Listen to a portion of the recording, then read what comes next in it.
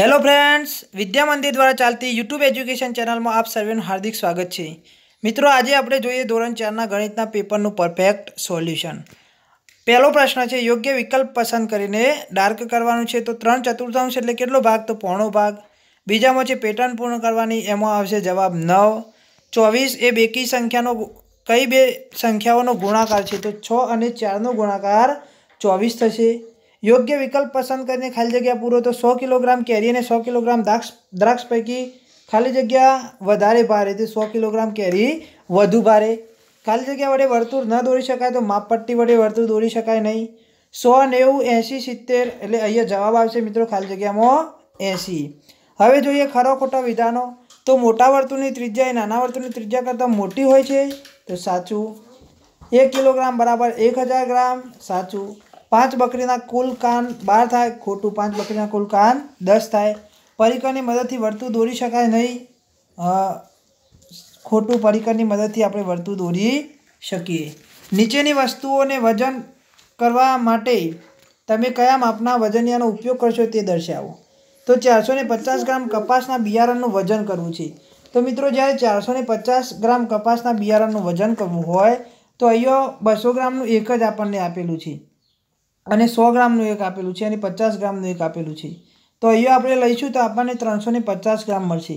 પરંતુ હવે આટલું વજન કરવું હોય તો સૌ પ્રથમ પાંચસો ગ્રામનું વજનિયું લેવું પડશે અને બાકીના બીજા પલ્લામાં પચાસ ગ્રામનું વજનિયું મૂકીશું એટલે આપણને ચારસો પચાસ ગ્રામ મળશે. અહીંયા થોડીક મિસ્ટેક થઈ છે, એ ધ્યાનમાં ના રાખતા. અહીંયા જોઈશું, પાંચસો ગ્રામનું વજનિયું લઈ અને બીજા પલ્લામાં પચાસ ગ્રામનું વજન મૂકીશું. એટલે આપણે ચારસો પચાસ ગ્રામ બી કપાસનું બિયારણ કરી શકીશું. છસો ને પચાસ ગ્રામ આદુ, તો પાંચસો ગ્રામનું એક વજનિયું, પ્લસ સો ગ્રામ અને પ્લસ પચાસ ગ્રામ. બે કિલોગ્રામ પાંચસો ગ્રામ વટાણા કરવા હોય તો બસ બે કિલોગ્રામ અને પાંચસો ગ્રામનું વજનિયાનો ઉપયોગ કરીશું. હવે જોઈએ મિત્રો નેક્સ્ટ આગળ. તો નીચેના દાખલા ગણવાના છે. એક કિલોગ્રામ કોબીજનો ભાવ સો રૂપિયા હોય તો એક દુત્યાંશ કિલોગ્રામ કોબીજનો ભાવ કેટલો થશે? અડધી તો આઠ રૂપિયા. એક કિલોગ્રામ ફ્લાવરનો ભાવ વીસ રૂપિયા તો એક ચતુર્થાંશનો કેટલો થાય? ચોથો ભાગ એટલે વીસના ચોથો ભાગ પાંચ રૂપિયા. દિશાના ગામના અંતરનું માપ નીચેની આકૃતિમાં આપેલું છે.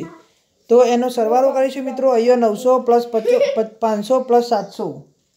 એનો સરવાળો આવશે એકવીસો, એ જ રીતે અહીંયા પણ એકવીસો એટલે બેતાલીસો થશે. અને બે ચક્કર મારે તો બેતાલીસો વત્તા બેતાલીસો એટલે ચોરાસીસો. વેદાંત સો મીટર તાર તેના ખેતરની ફરતે વાડ કરવા માટે લાવે છે. તેના ખેતરની બાજુઓના માપ વીસ મીટર, પચીસ મીટર, બાર મીટર અને ચૌદ મીટર છે. તો આ બધાનો સરવાળો કરીશું એટલે આપણને જવાબ મળશે ઇકોતેર મીટર. અને કુલ તે તાર લાવે છે સો મીટર, એટલે સોમાંથી ઇકોતેર મીટર તારનો ઉપયોગ થશે, એટલે ઓગણત્રીસ મીટર તાર વધશે. પેટર્ન પૂર્ણ કરવાની છે મિત્રો અહીંયા પાંચ, છ, સાત, આઠ આપેલા છે, આ પાંચ અને છનો સરવાળો અહીંયા અગિયાર કરેલો છે. છ અને સાતનો સરવાળો અહીંયા તેર કરેલો છે અને સાત અને આઠનો સરવાળો અહીંયા પંદર આવશે. અહીંયા જોઈએ અગિયાર અને તેરનો સરવાળો ચોવીસ, તેર અને પંદરનો સરવાળો અઠ્યાવીસ અને ચોવીસ અને અઠ્યાવીસનો સરવાળો થશે બાવન. હવે જોઈએ, તો નીચેના દાખલા ગણો, એમાં બોતેર ભાગ્યા છ, તો બોતેરનો છ સાથે ભાગાકાર કરીશું તો આપણને બાર જવાબ મળશે. અહીંયા ખેતરની પરિમિતિ શોધવાની છે, તો બધી જ બાજુઓનો સરવાળો કરીશું એટલે આપણને પાંત્રીસ મીટર જવાબ મળશે. પરિકરનો ઉપયોગ કરીને વર્તુળ દોરો અને તેની ત્રિજ્યા માપવાની છે. અહીંયા છે પેટર્ન તો અહીંયા વર્તુળ એટલે જીરો ખૂણો, અહીંયા ત્રણ ખૂણા અને ચાર ખૂણાવાળી આવશે આકૃતિ. અને અહીંયા આવશે ચાર ખૂણા અને અહીંયા પંચ ખૂણાવાળી. પેટર્ન પૂર્ણ કરવાની છે નવ, ઓગણીસ, ઓગણત્રીસ, પછી આવશે ઓગણચાલીસ, ઓગણપચાસ, ઓગણસાઠ અને ઓગણસિત્તેર. આગળ જોઈએ તો જે શાળાના બાળકોની સંખ્યા ચારસો હોય તો આલેખના આધારે જવાબ આપવાના છે. પ્રાર્થના સમિતિમાં કેટલા બાળકોએ ભાગ લીધો તો સો, બગીચા સમિતિમાં પણ સો, ગણિત વિજ્ઞાન સમિતિમાં પણ સો, સાંસ્કૃતિક કાર્યક્રમમાં સો અને પ્રાર્થના સમિતિ અને બગીચા સમિતિમાં કુલ થઈને બાળકો થશે બસો. હવે જોઈએ મીનાના ઘરે, મીનાને ઘર બનાવવા પંદરસો થેલી સિમેન્ટ જોઈએ છે. એક ખટારામાં એક સાથે બસો પચાસ થેલીઓ લઈ જઈ શકાય છે. તો ખટારાએ કેટલા ફેરા કરવા પડશે? તો પંદરસો ભાગે બસો પચાસ કરીશું એટલે છ ફેરા કરવા પડશે. હવે વાહન ચાલક એક ફેરાના પાંચસો રૂપિયા લે છે. તો છ ફેરાના કેટલા થશે? તો ત્રણ હજાર રૂપિયા. હવે જોઈએ શમા પાસે છત્રીસ ચોકલેટ છે. શમા વર્ગના બાળકોને ચોકલેટ વેચવા માગે છે. તો બે બાળક, બે ચોકલેટ આપતા કુલ અઢાર બાળકોને ચોકલેટ આપવી પડે. ત્રણ ચોકલેટ આપવી હોય તો બાર બાળકોને ચોકલેટ મળે. ચાર ચોકલેટ આપે તો નવ બાળકોને ચોકલેટ મળે. છ ચોકલેટ આપે તો છ બાળકોને ચોકલેટ મળે. અને જો એક બાળકને નવ ચોકલેટ આપે તો ચાર બાળકોને ચોકલેટ મળે.